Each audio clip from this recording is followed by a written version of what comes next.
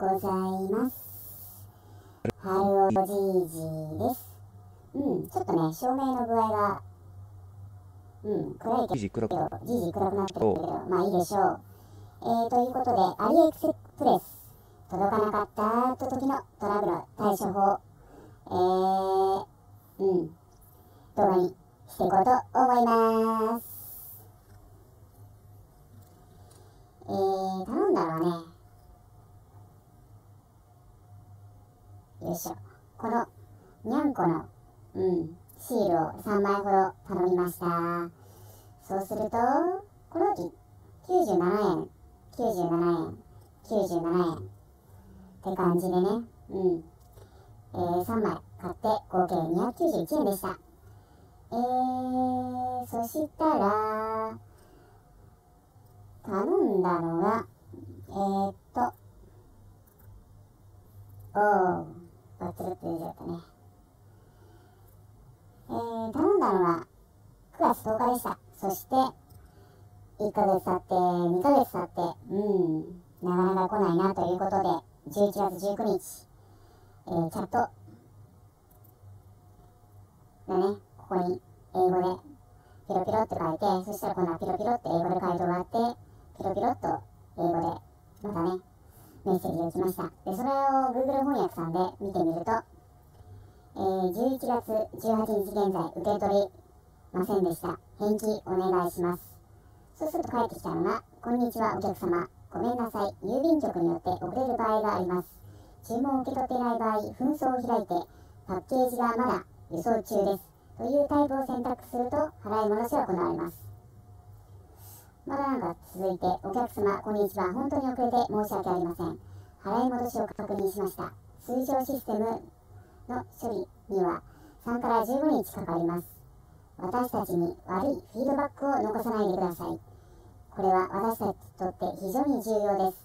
なぜなら、私たちは海運会社にお金を払っていたが、彼らは製品を失ったからです。ご不便をおかけして申し訳ありません。そしてあなたが理解できることを本当に願っています。でこれ翻訳ですけどね。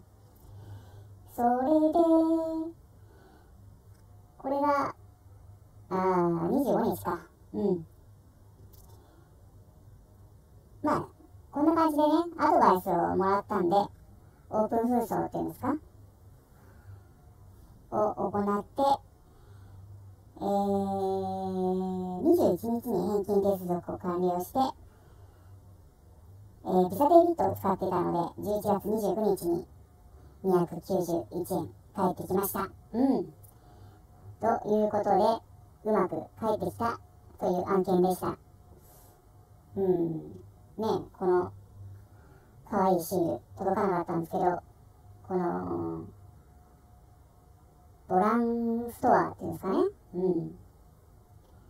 うん。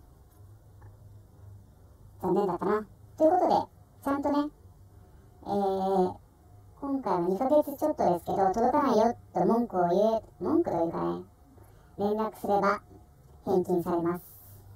ということを、えー、動画にしたかった感じです。まあね、こう、Google 翻訳使って頑張れば、えー、英語で対応ですけど、どうにかなりますよということです。Amazon Japan とか日本語が取るところが楽ですけどね。うん。こんな感じで海外通販楽しんでおります。えー、っと、じゃあもう一回、今度はハロージジをちょっと出して、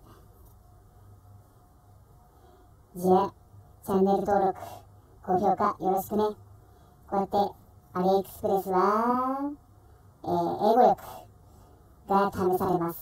届かないこともあるんで、そういう時は、ね、えー、ショップチャットで話して、英語で話して、解決してみようという動画でした。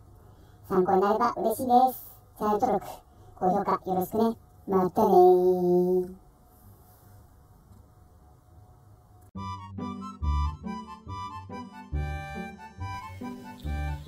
登録登録登録登録登録登録